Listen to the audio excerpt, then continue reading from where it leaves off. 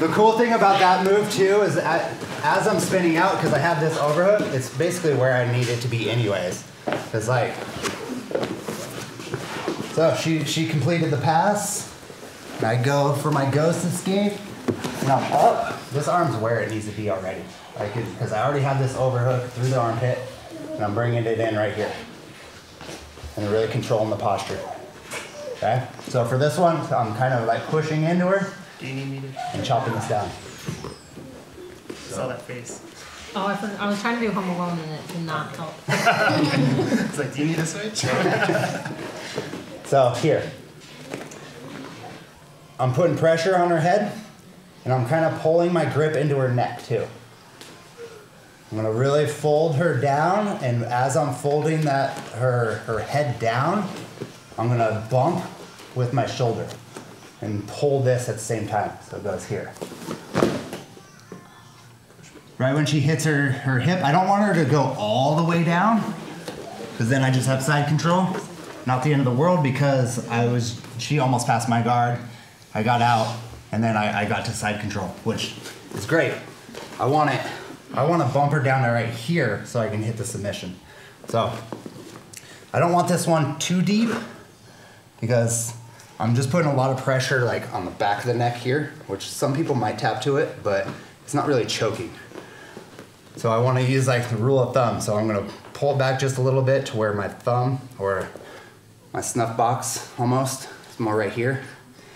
You love that term. Yeah. So um, rule of thumb, just bringing it in right into the back of her neck. Opening my palm, putting it on this bicep.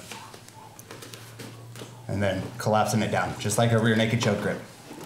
I'm gonna put this hand on her. And I'm gonna sprawl. So to put more weight onto this shoulder to press it into that carotid. And then I'm gonna rock the baby and squeeze. Squeeze the baby. So as I'm rocking the baby, I'm drawing this elbow up. That way my forearm is hitting this carotid. A lot of fine details, but that's what makes it work the best. So I'm sprawled.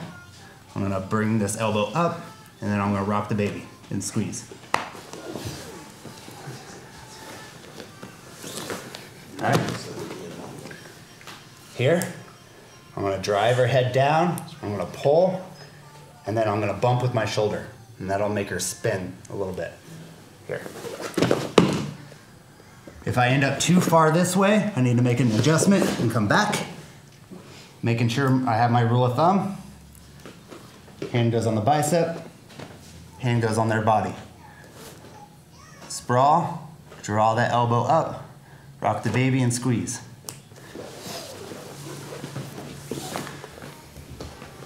Here.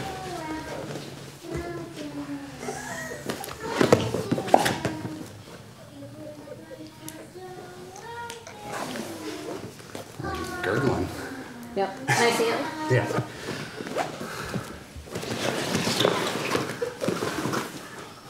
I would do it to Ivan because he's a higher rank, but I think Kayla likes to see your pain, so. I mean, Ivan's pain is fun too. but it's A little special. I just earn it more.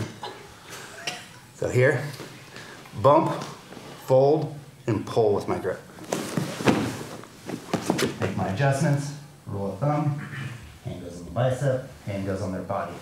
Sprawl, draw the elbow up, rock the baby, and squeeze. it works. A lot of people's D'arce chokes feel very cranky, but if you add all those fine details into it with the drawing the elbow up, rocking the baby, it turns it into like a really nasty choke. So I think the most important part is the thumb placement. thumb placement is huge Otherwise, it's cranky. Because if it's too deep, it will be pure crank. And you can't really go too shallow and still get the grip, but just try to place your thumb right there on their neck. Cool? All right, on three. One, two, three.